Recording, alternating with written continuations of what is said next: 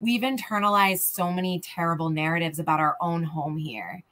And um and i think that it's so powerful to really make sure that we're not being ahistorical right? That we're being that we're really acknowledging both the pain and the power exactly. of the of the legacy that we are you know kind of blessed to live in here and to have a different outlook exactly um, without trying to erase right the problems and the right right because you know um I, I sometimes the the language um, is hard to listen to, mm-hmm. but it's it's it's it's the truth as as I see that it happened, um, and and I typically use um, the words of the day, newspaper articles, and that kind of thing in order to tell these stories. So it's mm-hmm. not Debbie saying that; it's it's the people who are saying it, whether it's you know whether it's accurate or not. It's it's it's it's still a reflection of the time of what the people heard similar right. similar to, to social media and what we have you know what we what happens to us